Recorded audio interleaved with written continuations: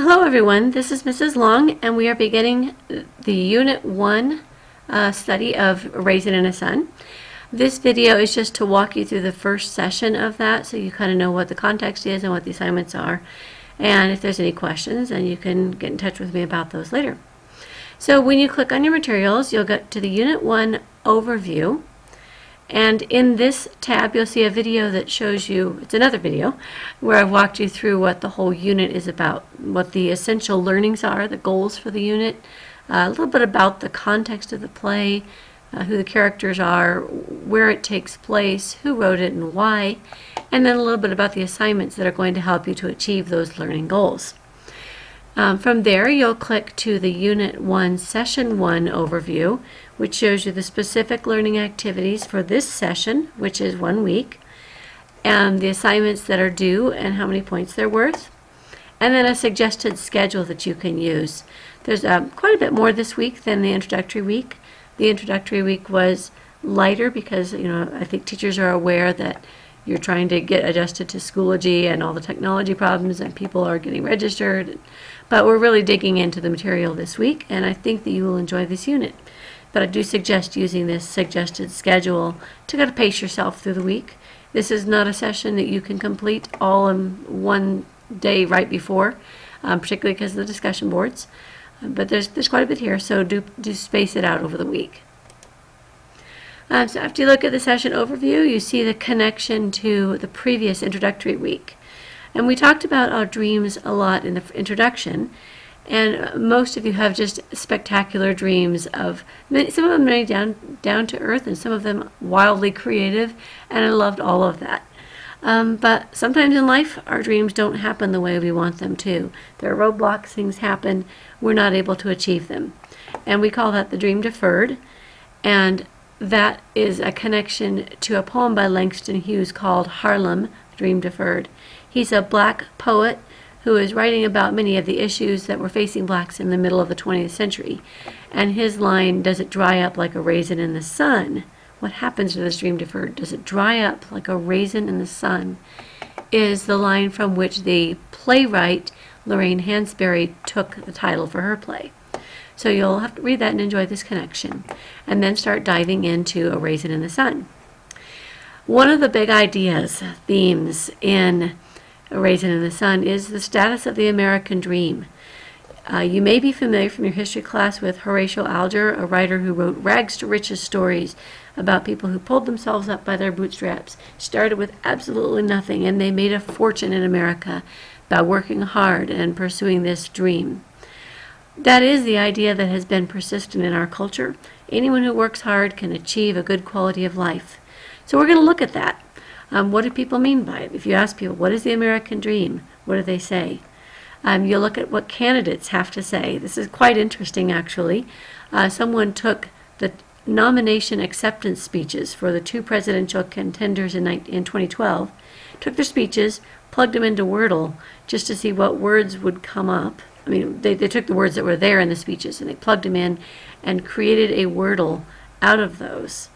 And the, the words are a little bit different. So think about that in defining the American dream.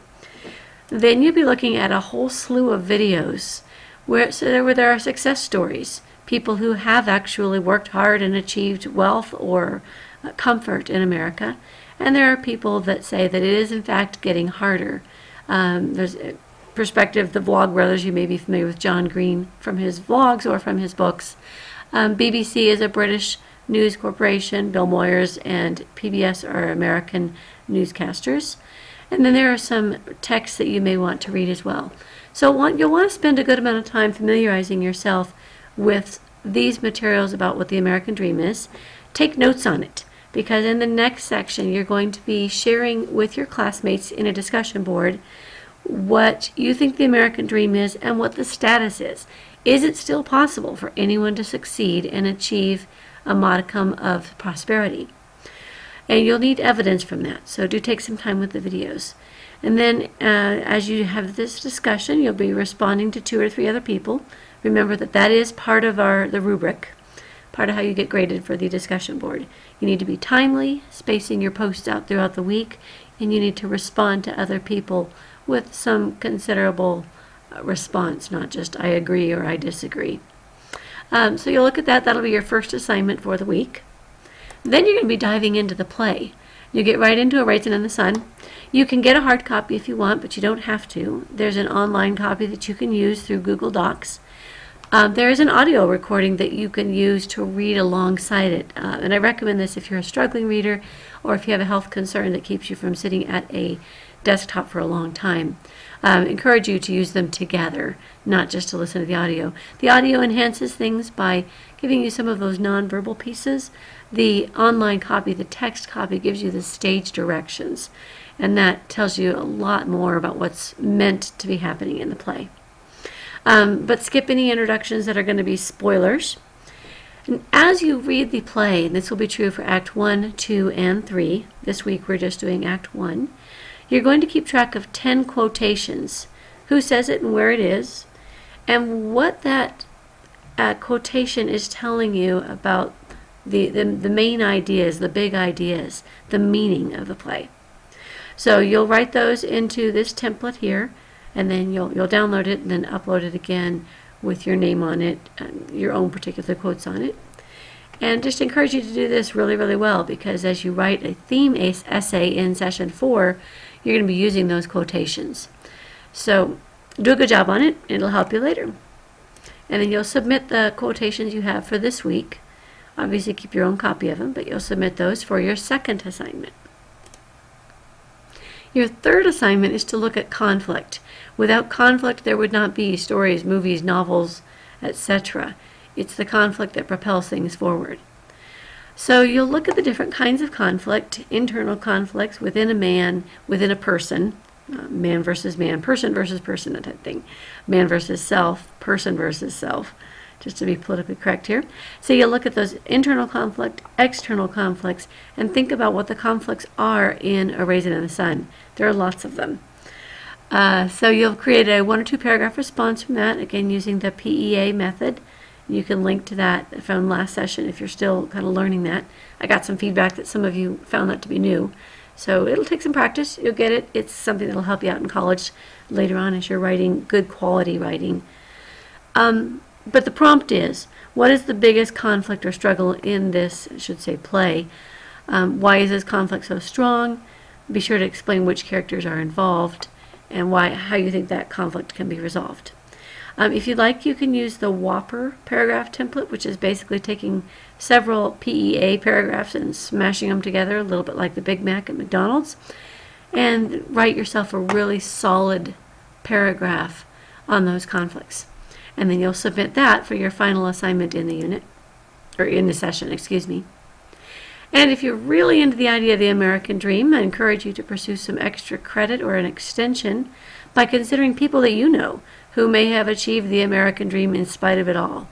Uh, I worked with some students when I taught ESL many years ago, students who were from Vietnam and their families moved here with nothing.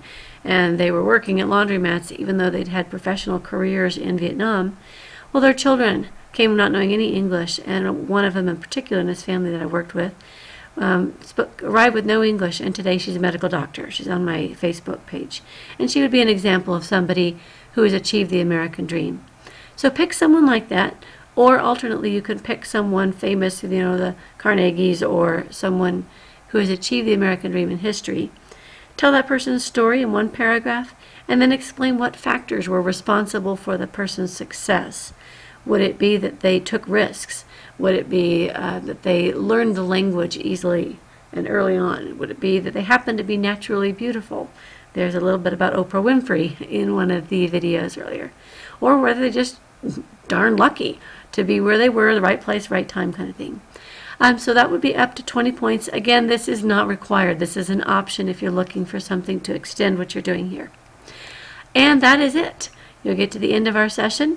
If you get done early, which you probably won't, but if you get done early, you're welcome to move on to Act 2 and continue taking the same notes, the 10 quotations for each act as you read.